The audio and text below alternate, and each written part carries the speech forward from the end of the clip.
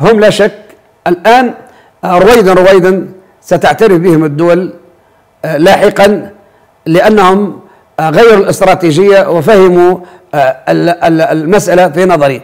لذلك الحاجات التي أو الأشياء التي قاموا بها أنهم لمن أراد من الأفغانيين أن يهرب حتى المجرم حتى الذي فسد وخرب الدولة أراد أن يخرج فليذهب. نعم. أذهب فأنتم الطلقاء. ما قال لا احصروهم حتى لا يذهب هؤلاء المجرمون. لا. عفو لذلك عنه. نحن نعم عفو. لذلك أنا أقول هذا الكلام لا أقوله لغير المسلمين لا لهؤلاء المسلمين الذين ينظرون نظرة سوداء ويتهمونهم بما ليس فيهم.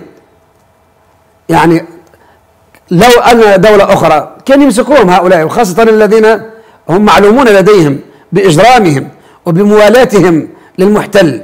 ومع ذلك قالوا لهم من يريد أن يذهب فيلصق بالطائرات. بعض الناس لا تفهم هذه المسألة. ينظر لتلك الطائرة التي تعلق بها بعض الأفراد ويقول انظر انظر خوف هؤلاء. لا هؤلاء إما صنف منهم مجرمون ويريد أن يرمي نفسه بأي شيء وصنف آخر مسكين لا يدري خوفوه فقال خلينا نلصق في الطائرة بأي طريقة. طيب هم لو أرادوك ما لا, لا, لا يمكن أن تذهب أبدا ولهم. طرق. ولكن فتحوا المجال لمن يذهب على رجله لمن يذهب بطائرة يذهب على بعير يذهب على حصان فتحوا الباب. حتى لا هناك دول قمعية تمنع مواطنيها من السفر. ابدا. آه، ولا داعي أن نسمي حتى لا يقال شيئا آخر. يفهم؟ فهم.